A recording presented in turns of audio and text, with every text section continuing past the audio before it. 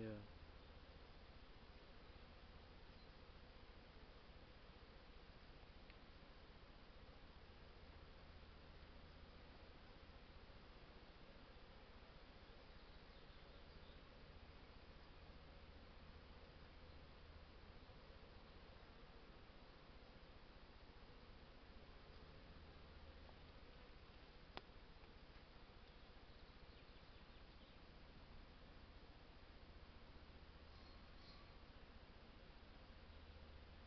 That's where they're all going into the, uh, original hive where the queen is